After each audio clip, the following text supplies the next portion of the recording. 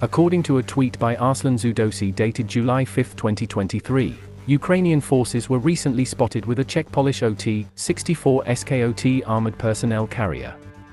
The OT-64 SKOT, known for its versatility, is expected to contribute to the military operations of the Ukrainian forces.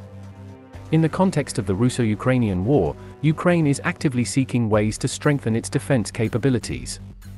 The versatile nature of the OT-64 SKOT makes it suitable for various military operations, including troop transport, reconnaissance, and support missions.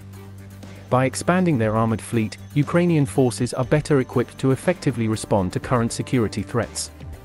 To date, there have been no official statements from the Czech Republic or Poland regarding the delivery of this type of vehicle to Ukraine.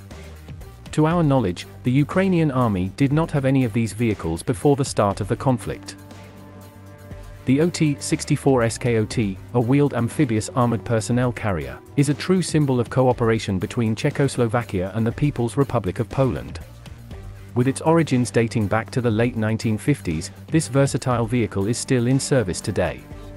It was designed in 1959, and production began in 1963, continuing until the early 1970s.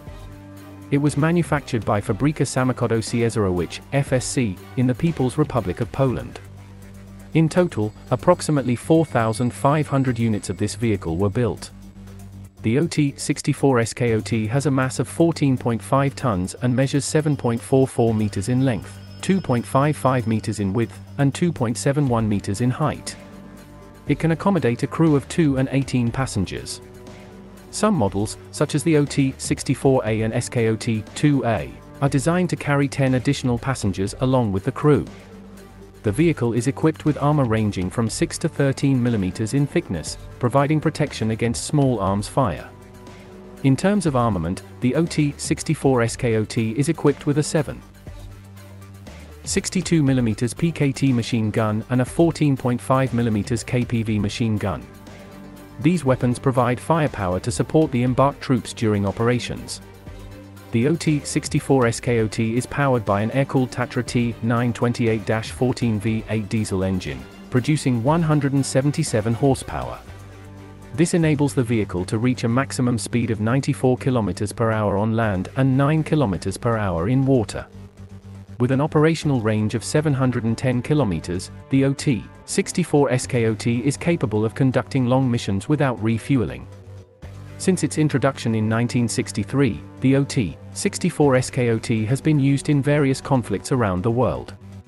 It has been deployed during the Indo-Pakistani War of 1971, the Western Sahara War, the Iran-Iraq War, Operation Blue Star, and the Syrian Civil War.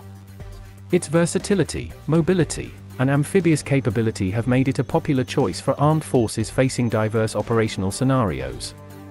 The addition of the OT-64 SKOT to the Ukrainian forces is not a significant development in the current war. However, questions arise regarding the origin of this vehicle, and several hypotheses have been suggested to explain its presence on the battlefield.